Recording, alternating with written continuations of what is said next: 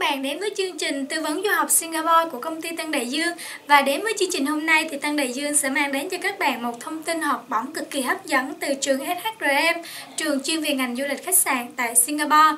Thì để chào đón năm mới năm 2015, khi các bạn đăng ký tại trường SHRM tại văn phòng đại diện tuyển sinh chính thức của trường tại Việt Nam, công ty Tân Đại Dương thì các bạn sẽ có cơ hội được nhận các suất học bổng hấp dẫn của trường.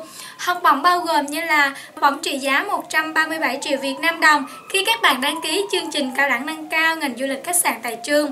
Bên cạnh đó thì trường còn có chương trình học bổng tặng khóa học Anh văn trị giá là 84 triệu Việt Nam đồng cho những bạn sinh viên đăng ký du học tại trường nhưng chưa có trình độ Anh văn. Bên cạnh đó thì trường cũng có chương trình miễn phí đăng ký nhập học trị giá 321 đô Singapore dành cho các bạn đăng ký tại trường. Và mỗi học sinh đăng ký khóa học, quản lý du lịch khách sạn tại trường thì sẽ được trang bị thêm một iPad mini làm tài liệu học tập. Và khi học tập tại trường thì các bạn sẽ được đảm bảo 100% cơ hội thực tập 6 tháng sau khi tốt nghiệp với mức lương lên đến là 1.500 đô la Singapore phụ thuộc vào năng lực của từng học sinh và các bạn sẽ được bố trí thực tập tại các tập đoàn khách sạn lớn có hợp tác với trường. Và để được nhận những học bổng hấp dẫn này thì các bạn hãy nhanh tay đăng ký với đại diện tuyển sinh chính thức của trường tại Việt Nam, công ty Tân Đại Dương, công ty du học hàng đầu tại Việt Nam. Các tiết thực tập kỹ năng nhà hàng thì sẽ được nhà trường bố trí thực tập từ thứ ba và thứ năm hàng tuần tại các khu bếp và nhà hàng riêng của trường, ngay khu học xá. Và SHRM thì là trường chuyên đào tạo về ngành du lịch khách sạn tại Singapore. Với chương trình học theo mô hình học tập của Thụy Sĩ và sinh viên không chỉ học lý thuyết suông, mà bên cạnh đó thì các bạn còn được tham gia các lớp học thực hành hàng tuần Do đó mà sinh viên sẽ được bổ sung những kinh nghiệm ngay khi còn ngồi trên ghế nhà trường.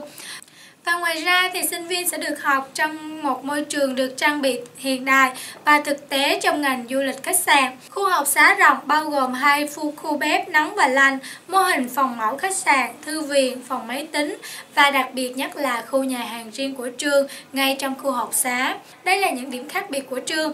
Và tại trường SHRM thì sinh viên sẽ được đào tạo toàn diện, ngôn ngữ cũng như là những kỹ năng giao tiếp kỹ năng quản lý, tất cả đều phục vụ cho ngành công nghiệp then chốt hiện nay tại Singapore, ngành du lịch khách sạn. Và bên cạnh đó thì à, SHRM là một trong những trường tại Singapore chuyên đào tạo về ngành du lịch khách sạn. Trường có mạng lưới liên kết rộng rãi với nhiều doanh nghiệp lớn và sinh viên sau khi tốt nghiệp tại trường thì được cử đi thực tập hưởng lương 6 tháng và đây cũng chính là cơ hội để cho các bạn sinh viên tìm kiếm công việc toàn thời gian ngay sau khi kết thúc khóa học tại trường này. Và để được hướng dẫn chi tiết về thủ tục hồ sơ nhập học cũng như là điều kiện để được nhận học bổng của trường như thế nào thì các bạn hãy nhanh tay đăng ký ngay tại văn phòng đại diện tuyển sinh chính thức của trường tại Việt Nam, công ty Tân Đại Dương, công ty du học hàng đầu tại Việt Nam. Và để được hỗ trợ thêm thông tin thì các bạn hãy liên hệ ngay với các chuyên viên tư vấn của Tân Đại Dương ở địa chỉ quận nhất, quận 5. Thông tin về trường thì các bạn tham khảo tại website tân đại dương.edu.vn và các bạn lưu ý là Tân Đại Dương chỉ có 3 chi nhánh ở thành phố Hồ Chí Minh và Nha Trang, không có chi nhánh nào ở Hà Nội. Cả các bạn đến với chương trình chia sẻ qua du học của công ty Tân Đại Dương. Và đến với chương trình hôm nay thì Tân Đại Dương mời các bạn cùng trò chuyện với một bạn du học sinh Singapore Đó là bạn Hoài Thảo. Và ngay bây giờ đây thì chúng ta cùng trò chuyện với Hoài Thảo để tìm hiểu lý do tại sao Hoài Thảo lại chọn Singapore làm điểm đến để du học nhé. À chị chào Hoài Thảo. Chào chị. Được em giới thiệu đôi nét của bản thân em. À, Em tên là Nguyễn Vương Hoài Thảo Em sinh năm 1991 Hiện em đang tại ở tại quận Gò Vấp và em đang ờ, apply xin du học cho bằng master ở James Cook, Singapore. Như em được biết thì trường ờ, James Cook ở Singapore là một trong top 4 trường hàng đầu thế giới. Cho nên là em đã chọn James Cook để uh, apply xin du học master cho mình. À, cái lý do thứ hai em chọn Singapore đó là vì à, Singapore khá gần với Việt Nam.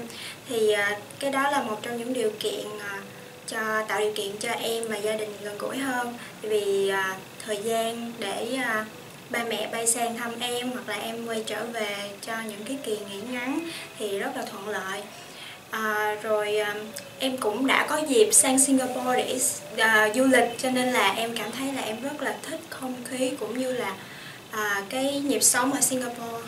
Nên là em đã chọn Singapore để à, du học. Em vẫn à, tiếp tục học à, à, master cho ngành à, du lịch khách sạn. Vì à, như chị biết với mọi người đều biết là à, Singapore chỉ đứng sau Thụy Sĩ về à, đào tạo chuyên ngành nhà hàng khách sạn cho nên là em đã chọn Singapore.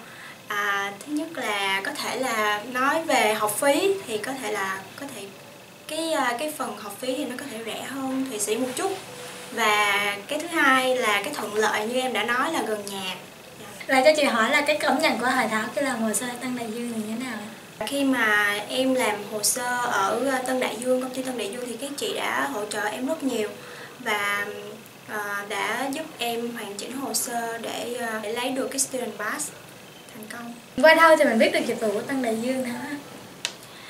Um, thường thì em uh, hay search trên trên mạng trang web thì em uh, em tìm hiểu qua trang web trang website thì em uh, à, lần mò và tìm được công ty Tân Đại Dương và em có xem một số cái clip ở trên YouTube thì em bị cuốn hút bởi cái lời giới thiệu của các chị bên công ty Tân Đại Dương. Chị cảm ơn Hoài Thảo trong buổi chia sẻ ngày hôm nay ha. Dạ. Và khi qua Singapore học thì cần hỗ trợ gì thì em liên hệ với chị Kim về nhà ở hay là thủ tục hồ sơ hay là về trường gì đó thì dạ. em cứ liên hệ chị Kim sẽ hỗ trợ em. Dạ. Ừ, rồi một lần nữa thì chị thay mặt công ty Tân Đại Dương chúc em qua Singapore học tập thật là tốt nha. Dạ em cảm ơn chị.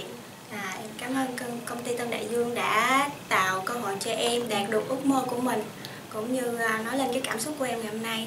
Và vừa rồi thì chúng ta cũng đã vừa lắng nghe Hoài Thảo chia sẻ về quá trình làm hồ sơ du học Singapore của mình như thế nào. Và để tham khảo thêm các chia sẻ của các du học sinh đã nhận được visa du học, thì các bạn tham khảo tại website tandaiduong.edu.vn hay là tdvn.com. Xin chào và hẹn gặp lại.